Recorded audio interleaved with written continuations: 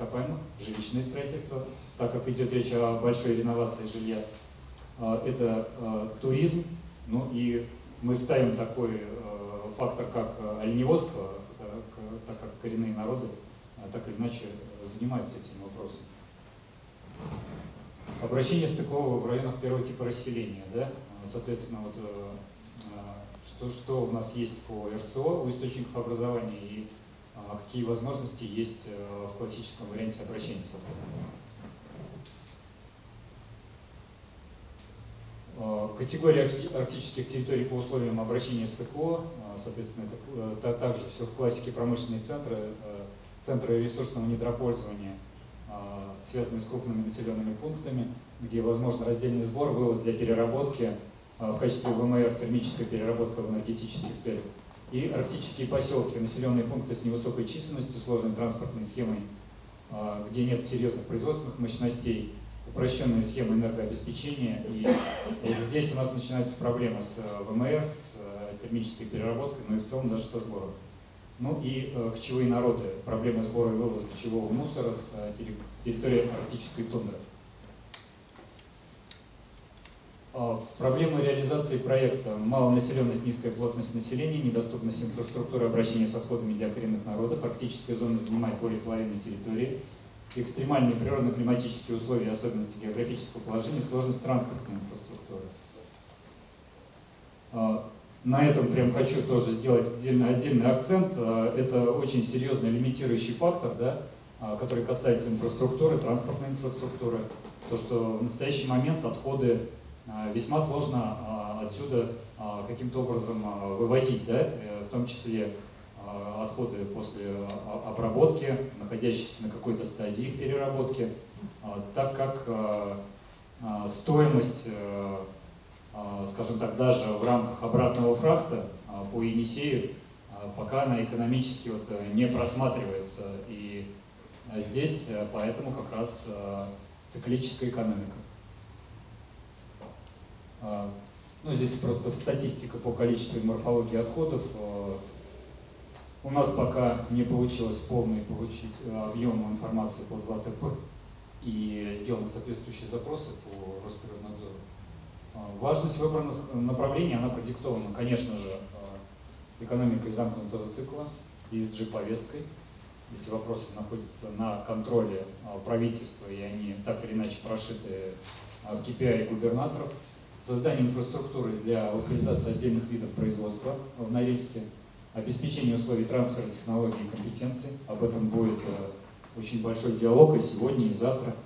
Ну и, конечно же, это государственная повестка.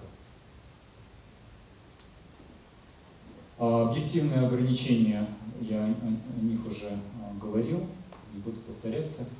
А предложение, конечно же, это создание экономически эффективной модели по обращению с отходами, организация пунктов раздельного сбора, а, в том числе они должны быть удобны и для кочевых народов, создание технопарка замкнутого цикла, а, который будет включать в себя а, ну, классические все участки, обработки, утилизации, обезвреживания, в том числе частичное размещение хвостов.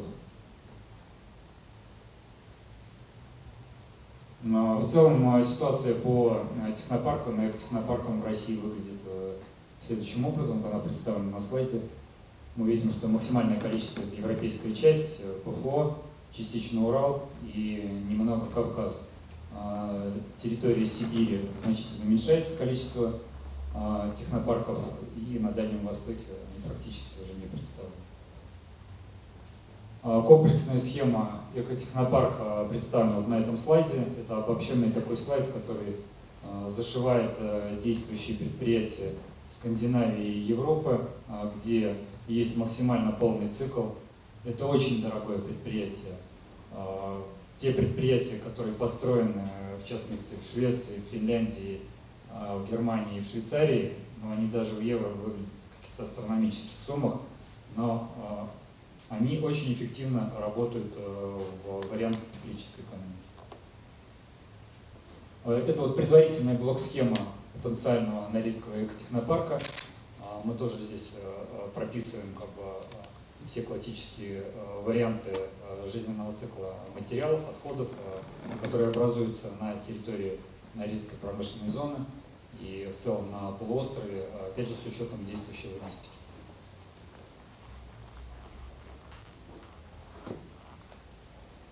Участники технопарка правительства Красноярского края, администрация Норильска, это Норильский никель, это потенциальные управляющие компании технопарка, резиденты и региональный оператор, который занимается управлением такого. Агентство развития Норильска подобрало пока предварительный земельный участок. Мы завтра его по возможности посетим, посмотрим, как он выглядит на местности и что с инфраструктурой, э, инженеркой, которая находится в непосредственной близости и по возможности подключения. А, мы провели анализ э, российских технологий, э, что особенно актуально после февраля текущего года с учетом импортозамещения. Мы сделали запросы пяти основным производителям оборудования, и они сейчас производят расчет стоимости оборудования для наполнения экотехнопарка в Норильске и сроком его возможного изготовления. А сразу же, да, ряд производителей российских оборудований сказал, что пока все сроки двигаются вправо, потому что им нужно импорта заместить э, порядка 30% комплектующих. Ну, это вот э, реалии сегодняшнего дня. Тем не менее, производители, э, которые могут наполнить и сделать комплект всего технологического комплекса потенциального экотехнопарка, они все есть на территории Российской Федерации. Ну и кратко, э, презентация вот этой работы у нас и обсуждение уже прошло на площадке Торгово-промышленной палаты Российской Федерации, где э, две недели назад прошел круглый стол вопросы создания эффективной системы обращения с твердыми коммунальными отходами в арктической зоне Российской Федерации. Я докладывал там руководству торгово-промышленной палаты о том, как мы двигаемся по этому проекту, и а, есть а, поддержка а, этого проекта, а, и они готовы направить соответствующие письма в правительство Российской Федерации на том этапе, когда это нужно будет и будет уже важно. И также буквально вот э, на прошедшем неделю назад э, форуме экология, на панельной сессии мусорная реформа, как совершить инфраструктурный прорыв. Также было выступление, которое касалось э, экотехнопарка в Норильске и тех лимитирующих факторов, которые я обозначил выше. Текущая точка сборки – это уточнение всех технологических э, вопросов, это работа с потенциальными резидентами из числа предпринимателей э, Норильска, определение земельного участка необходимой инженерной инфраструктуры, утверждение схемы землепользования, а проработка согласования э, дальнейшей дорожной карты э, и э, работа уже конкретно такая низовая, которая касается непосредственно морфологии, объема и сегментации отходов, и в том числе работа, очень важная работа с населением и мы посвятим завтра э, отдельный круглый стол э, этому вопросу. Э, еще раз для того, чтобы все группы социальные, возрастные разделяли вот эту целесообразность и необходимость реализации такого большого проекта в Норильске и для чего он нужен. Спасибо. Закончил. Спасибо, Дмитрий. Вы не уходите, пожалуйста, я позадаю вам немного вопросов. А, ну, а, первый, наверное, такой, что ну, справедливости ради, да, вот те земельные участки, которые вы показывали, это ну, как бы очень важно действительно сейчас определиться как бы с локализацией, потому что много работы, а, связанной с оценкой и по инфраструктурной части, и по, ну, просто физически надо понимать, где этот объект будет размещаться, чтобы всю эту логистику считать. Но мы когда взаимодействовали с бизнесом, э, вот этот э, э, участок показывали как возможный, но при этом были еще мнения, что нужны еще некие точки да, там, в районе Талмах, в районе Каирхан, как, как отдельные пункты. Могут ли они рассматриваться вот в системе единого там, технопарка как инфраструктурный элемент, это первый момент.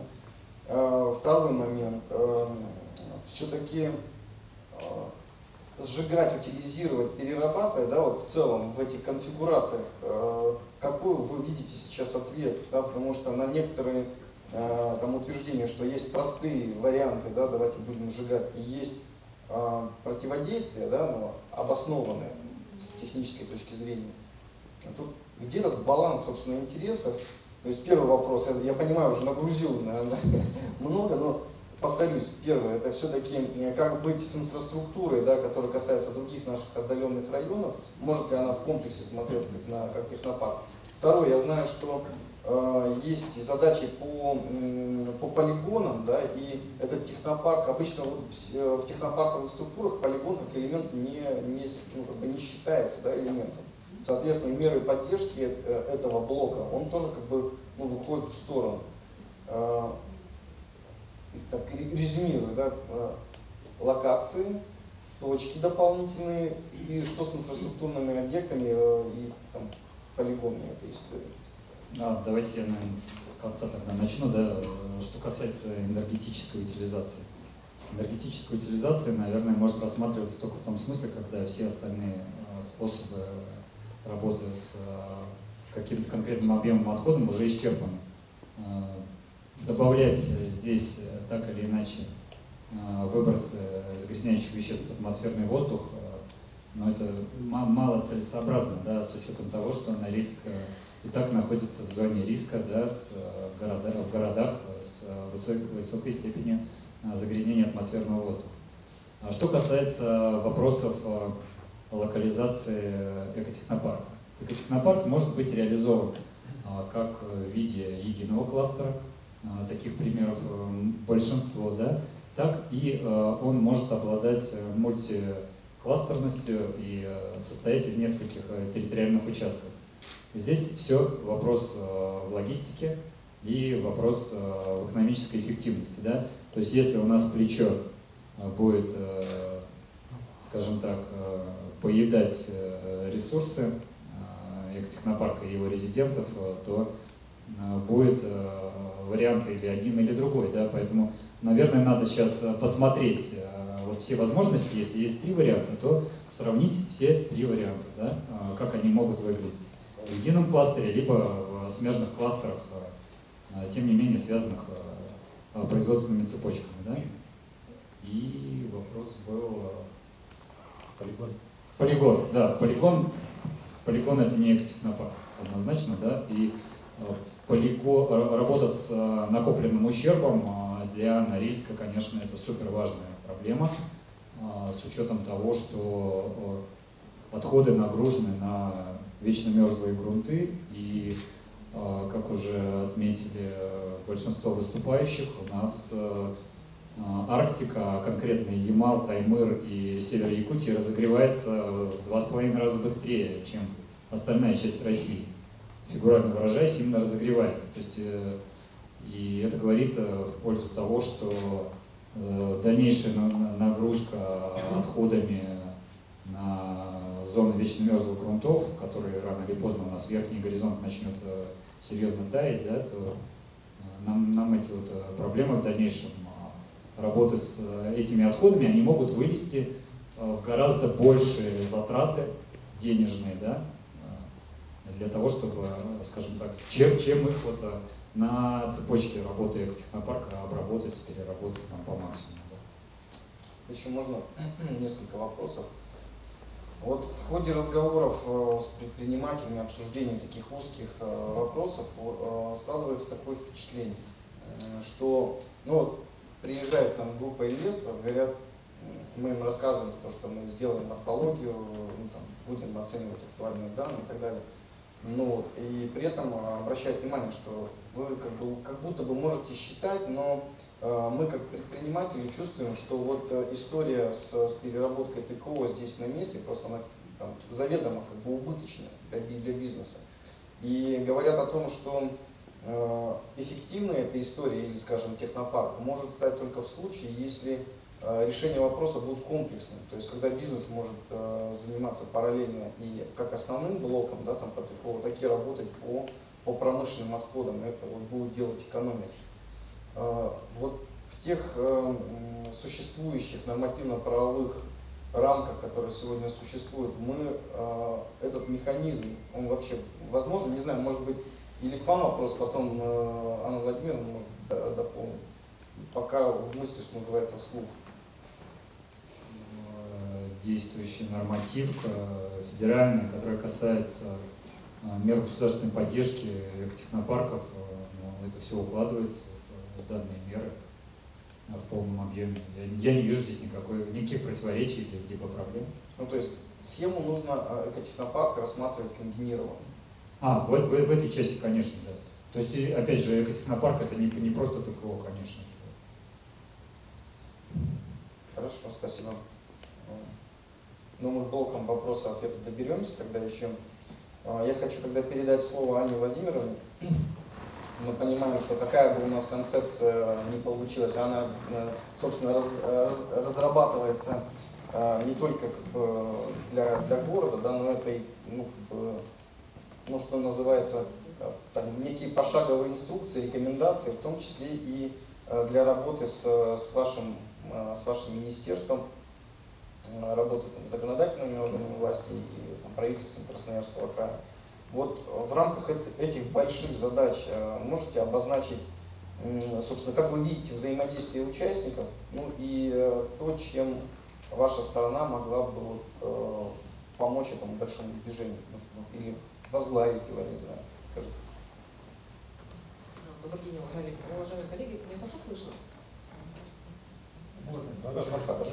Да? Ощущение, что я без микрофона говорю, хорошо слышно.